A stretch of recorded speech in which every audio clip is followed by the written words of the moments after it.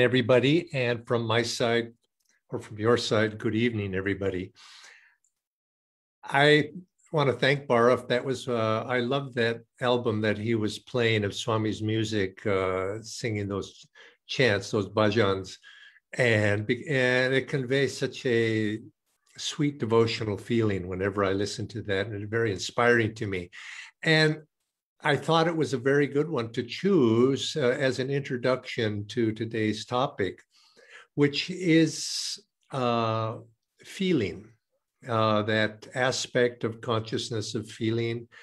And I chose as the topic to, you might say, to uh, contrast it to what some people feel, because they don't i mean feeling one of the aspects i would i guess i'm trying to say of, the, of feeling that is expressed by some is emotion. And there's a difference between emotion and feeling. And let's explore that a little bit today because i think it's a very important topic because you don't find any uh, saint any great person of spiritual development uh, who uh, is uh, not joyful, not a, not doesn't have a developed feeling nature, and it it's always goes back to something Swami Kriyananda always used to say: a sad saint is a sad saint indeed. In other words, somebody who sadness, of course, is not a is you, you might say an expression of disappointment or rejection. And of course, that's not something that a great saint would would express. You look at the lives of the great ones, and there's uh, they have individual natures. The great ones, they saints, uh, some are joyful. Now that was, of course, Paramahansa Yogananda was like that. He was a saint of joy. He was a saint of love, yes, but his, his essential nature was joyful. And so he just felt this exuberant joyfulness that was flowing out of him. Now, not all saints express themselves in that way. Uh, some were, were uh, more loving, and you could, and, and I've met uh, some very, I figure, think of exalted souls that exuded a certain calm kindliness you know, but that too is a feeling. But nevertheless, I think all of them probably enjoyed a good joke uh, and, and, saw the humor in life's situation. And it always was came from a sense of inner deep feeling.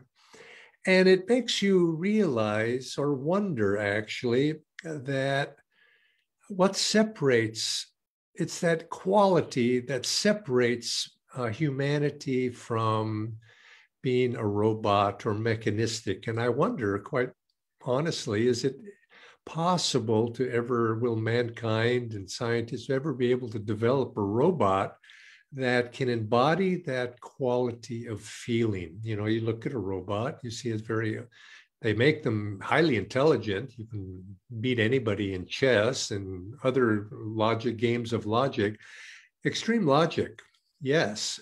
And I guess logic is an aspect of intelligence uh, or sort of a mechanical way of all possibilities being uh, analyzed until you come to the one that works. Well, yes, but is that what it means to be human? A human, and it's an aspect of intelligence, maybe close to the mind, mon, buddhi, and then you go beyond those two and you come to those two more subtle ones ahankara that sense of ego individuality a sense of self. And what makes that manifest that really is this fourth aspect known as chitta that ability to feel the feeling element of consciousness that, sub- that brings subjectiveness to life. The, and of course it's also you know it has positive and negative sides to that. It expresses itself but it's it's that quality of our ability to experience pleasure satisfaction enjoyment. You know some of those are outward but also empathy compassion and of course as i said ego that sense of self identity, intuition that sense of i eh, that uh, makes us human.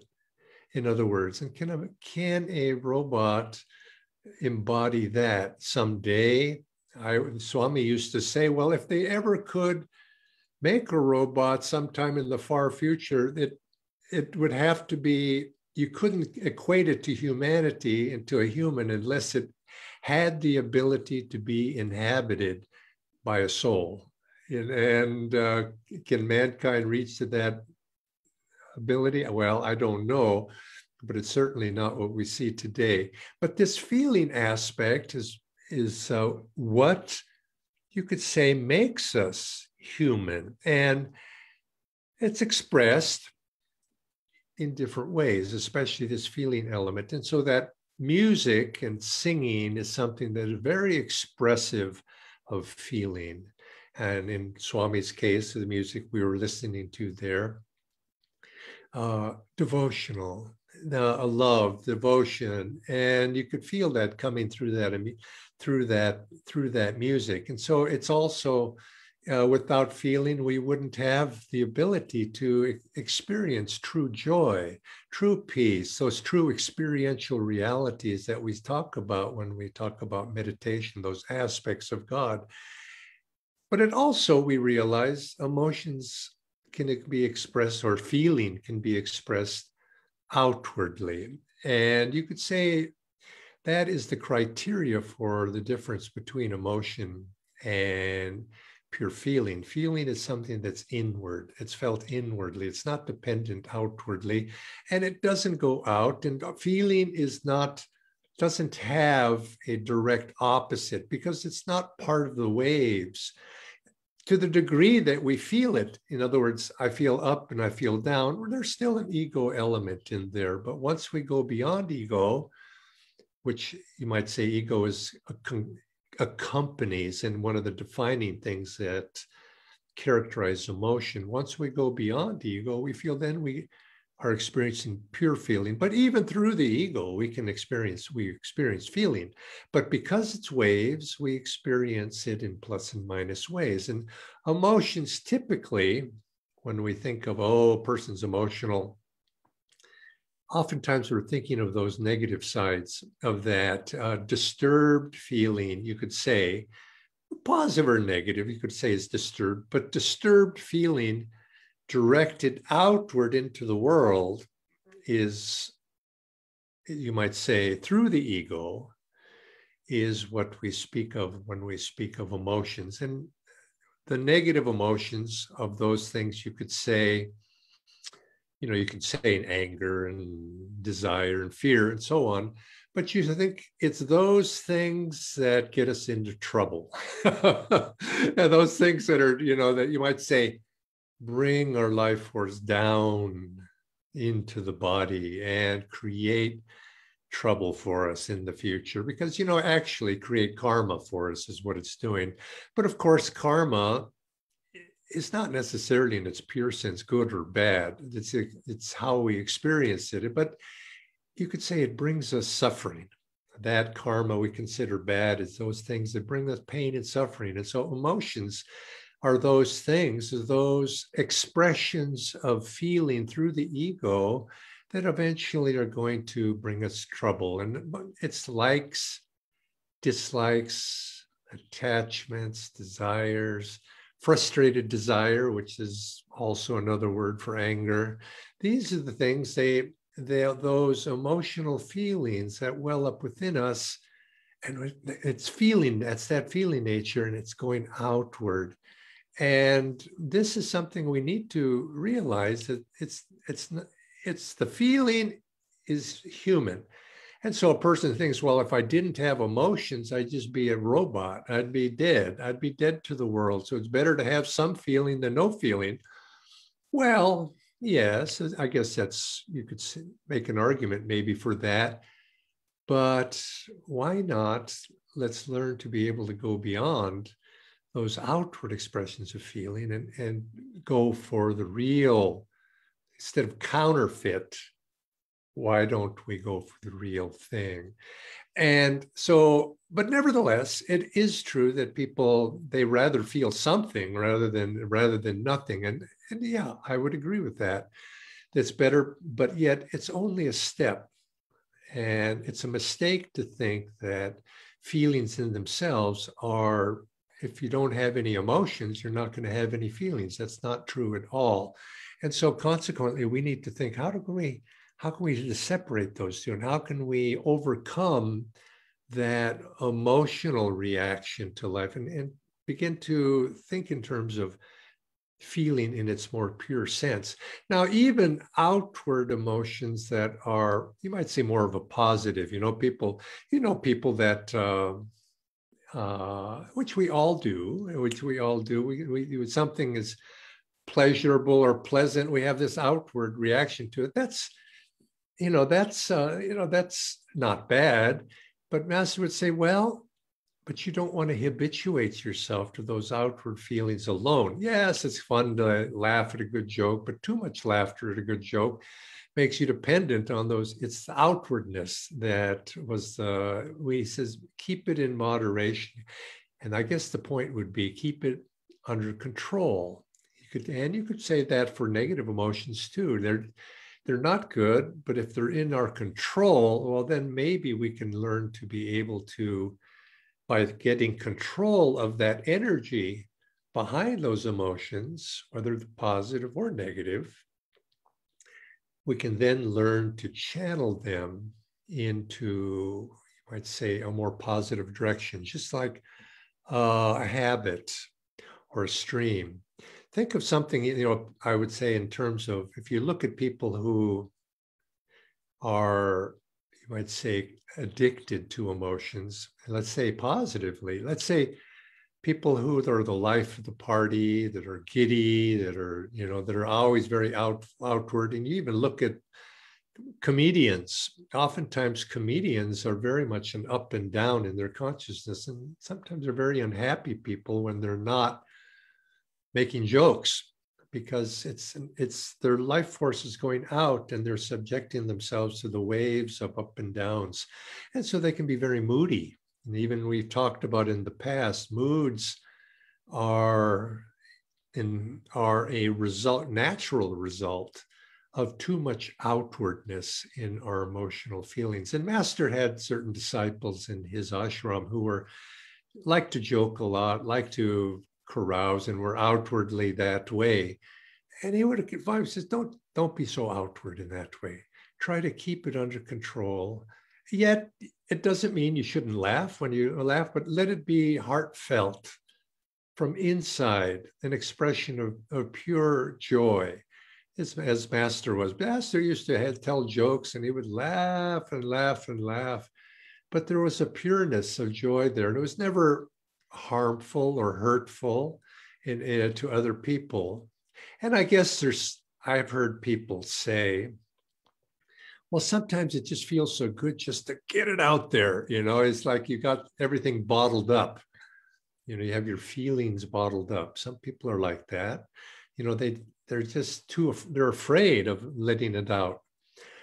And so they just says, well, you better to let it out. Well, I guess if you let it out in front of a mirror, maybe that's one thing, but don't let it out in front of other people. So, because what happens, this outward expression of emotional feeling can be like uh, bombs being set off. And especially if you direct those, and we know this because we've probably all done it at one time or another. We get angry, we direct it at somebody, and we just feel regret afterwards because we know it wasn't a good thing to do. And so consequently, uh, sometimes you just feel that, you know, that frustration. I know. I felt sometimes somebody is just like, oh, I just want to, you know, say something to that person. And I restrain myself, just like we should. But sometimes you just go by yourself, yeah, dog, got it, you know, and and yes, you're getting it out of your system. I don't, you know, sometimes it's just a relief you know, when you have an emotional relief of any sort, that you just have to just have to say something, do something, and hopefully without harming anybody else, it does feel a certain pleasurable feeling of relaxation comes when you release tension, just like when you tense the body real hard, and then you let the tension go, you feel that sense of relief that allows you then to go deeper into it. Emotions are a little bit like that too, but you don't really get rid of that emotional feeling by doing that. You just postpone it and it comes back again and again. Ultimately, we need to be able to transcend that. And but primarily, my point here is in if you find yourself subject to emotional release uh, in a negative way, don't aim it at somebody else because that's where you cause the trouble. You see, you cause you've hurt other people, uh, subjected them, you could say, and ultimately you've damaged yourself because the karmic pendulum will ultimately swing. And so you have to keep it within control.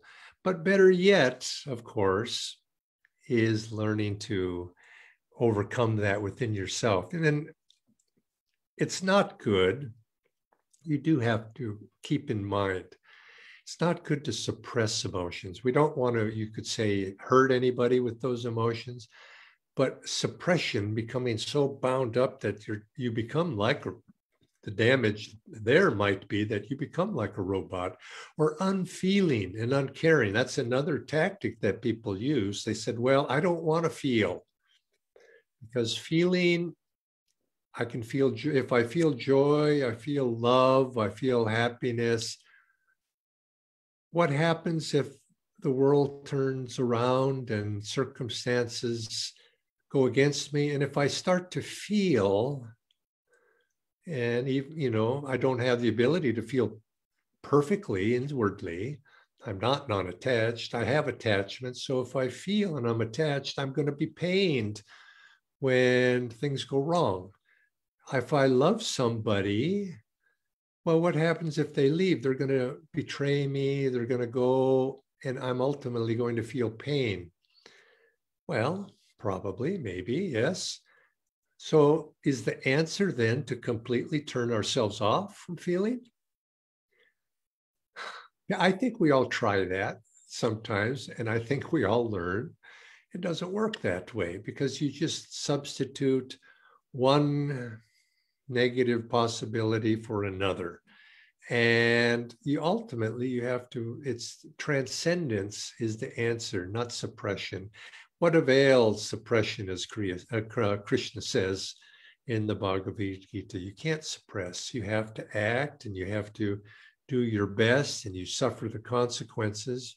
But bottling up is not going to be uh, the answer even though subjecting yourself to the consequences of negative emotion ultimately will you'll get yourself into trouble. But ideally we get ourselves into trouble and we learn the lessons. And this is what we're trying to do. Now remember something i said here what's the answer to this? There is a connection between ego and emo- negative outward emotion, the sense of I-ness. And it's that sense of I, ego I, I am the one experiencing this. I am the one creating these waves. I am the one that it's enjoying the, the fruits of my emotional outburst. And I'm the one that's also enjoying the negative consequences of that. And so this con this so the the answer ultimately is that we have to go beyond this ego consciousness of I-ness, the little I who's who's enjoying this world and ultimately enjoying riding on the surface ups and downs of those waves. We get to the point where we don't get rid of that. I mean, we don't kill that I. What we do is we transcend it like Master said in his poem, I, the little ego, see like a bubble. I, uh, I see myself. I now identify myself with the cosmic sea. And I see that ego as but a little bubble floating within me. So you can see that you're you've transcended your you, the ego still plays its role, and you know the ego never completely dies in that way. It always exists, even in superconscious uh, nirvikalpa samadhi. It always still exists, but as a memory. It's not our reality, but we remember it. And but our identity has been transferred to the larger cosmic sea. And this is the ultimate answer, of course, to overcoming that, the effects, the karmic effects of, of ego consciousness and of ultimately to emotions. But that's it's good to know the goal that we're after, but is it a reality for us in day to day? To some degree, yes. Master used to say, live in the self.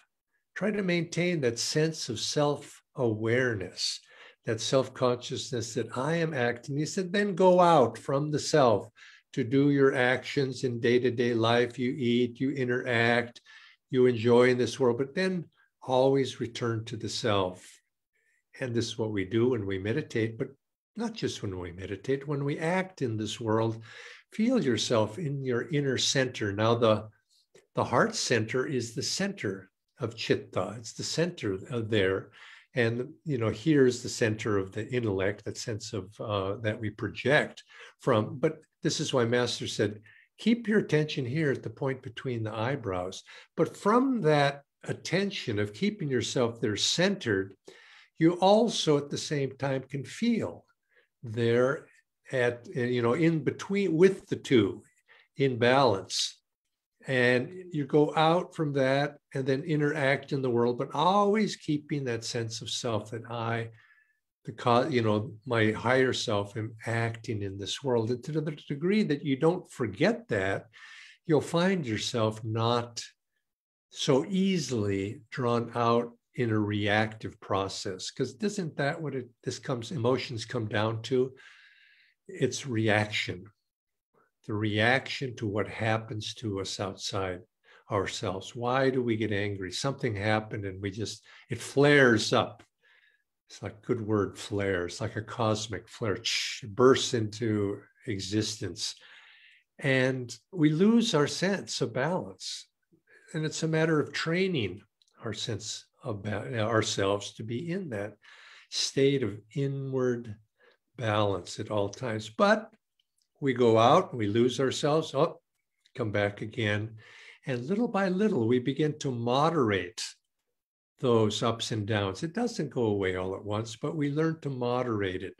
We keep our tension like as if you can personalize it and think you're you're in, you're sitting on the banks of the stream with God, looking at the passage of life. And every once in a while, you know, the you get hooked, you know, by something, and then you come back, and God is with you. God's hooked you also, and God is drawing you back to your center.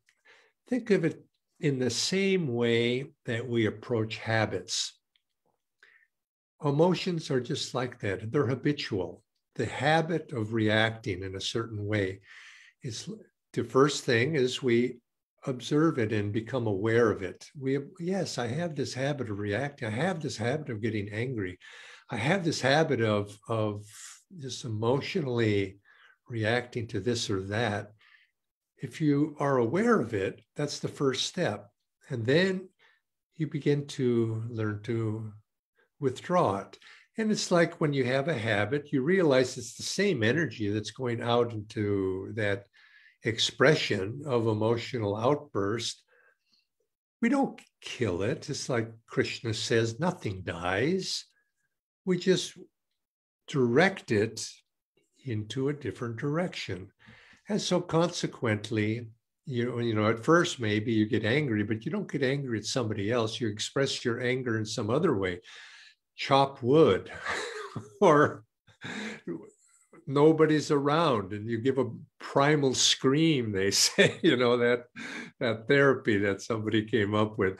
Well again it's better than venting on somebody else but it's actually the, the chop wood analogy or example is actually good. You get out and you do something and you express that anger in some constructive way a neutral way even if it's not constructive at least it's neutral and you're aware of it. That's it, keeping our attention of what's going on within ourselves.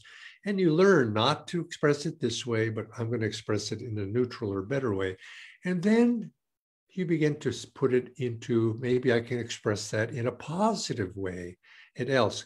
Because what is, let's say, anger, for example, it's fervor. I'm fervent.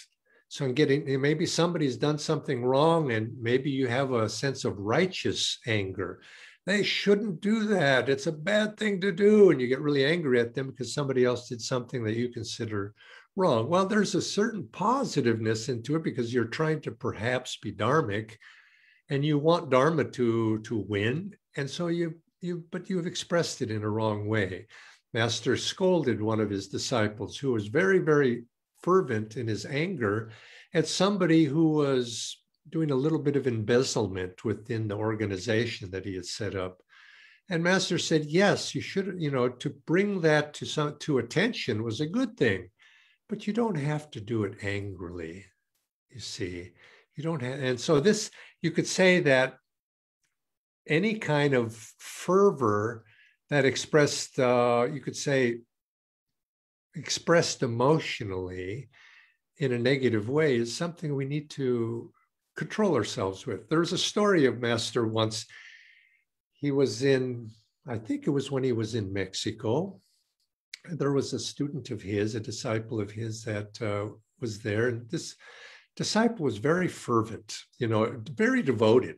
And uh, it was a, a young lady.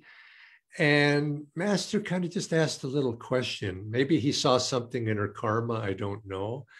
But he asked her, says, How do you feel about marriage? And she reacted, says, she said, very with great vigor, says, I have given my life to God. And Master says she fairly shouted at him when she said that I've given my life to God and I will continue to serve God alone, without a husband, without a mate, faithfully, devotedly, every year of my life until I die. Well, the Master was taken aback and he said, My goodness.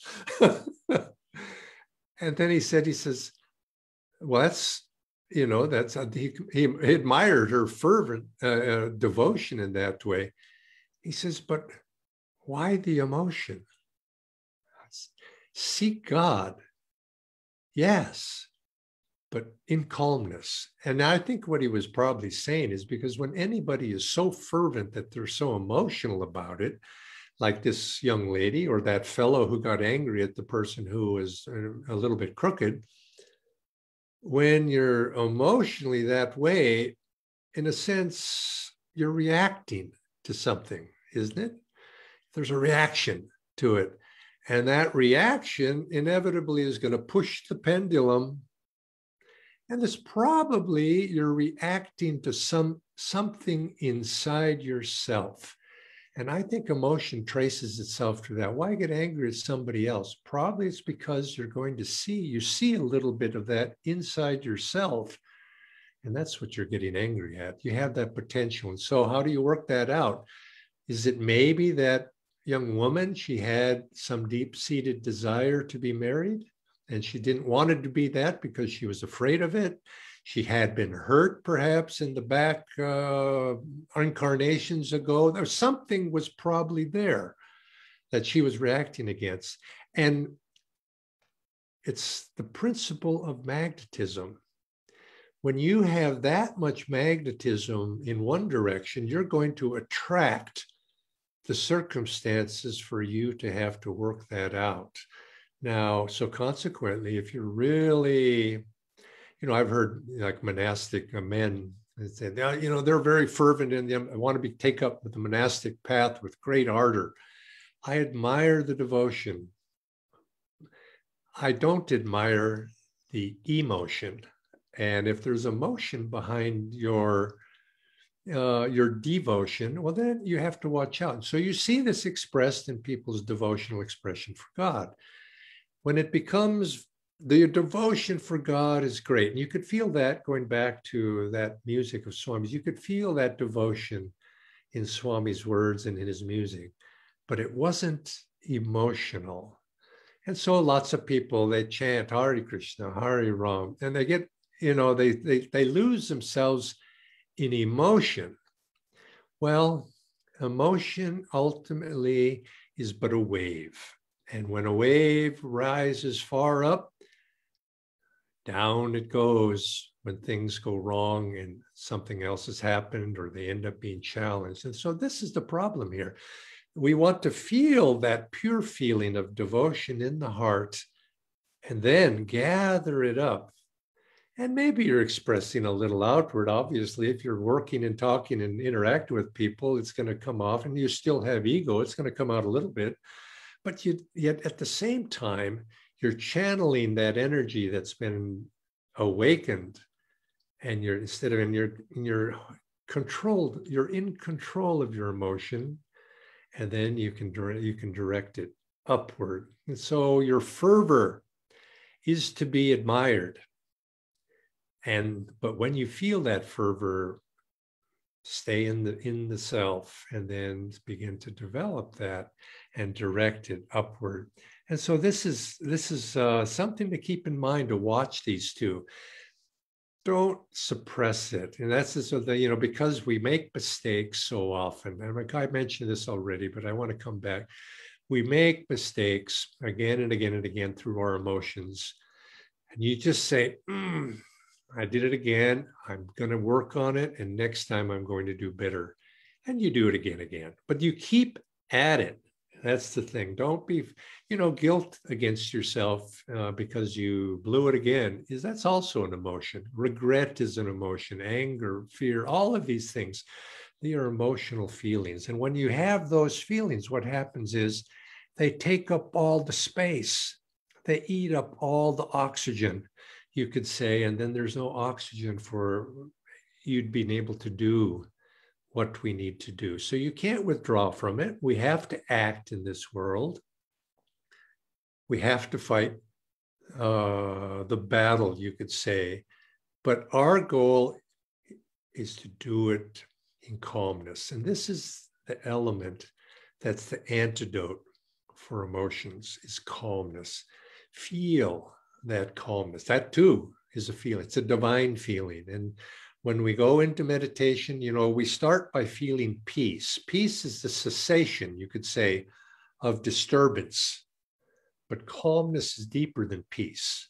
Calmness is, is that positive placement of our self in stillness that comes when we neutralize the emotional likes and dislikes of the heart. The waves become calm peace is somewhat temporary, transitory.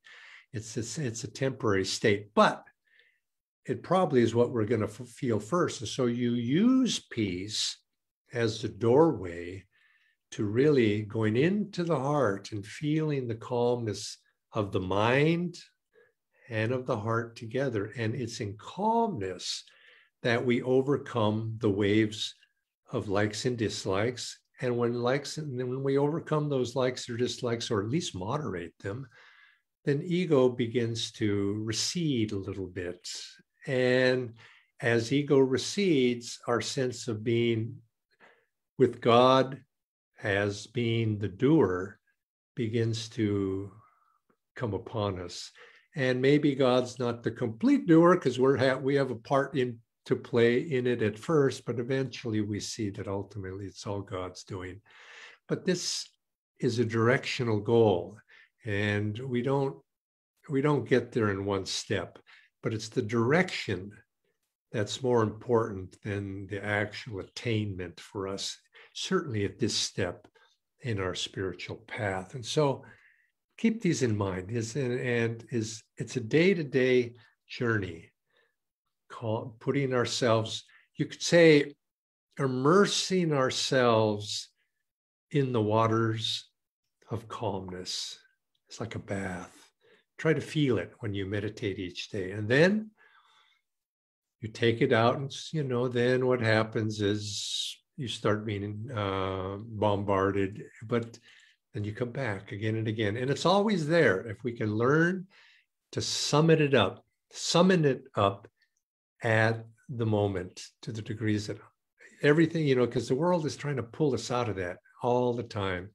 And if we can stay in that, we find that then everything in life goes smoothly. And everything in life is uh, not only calm, but then we begin to experience those other aspects that are with calmness, with joy, God's presence. And that's when then we become like Master, perhaps. That's our goal, is in every moment. As Swamiji used to say, even when Master was laughing, doing a good joke, having something that was seemingly outward, Swami said he'd look in Master's eyes and he would see that there was just depth.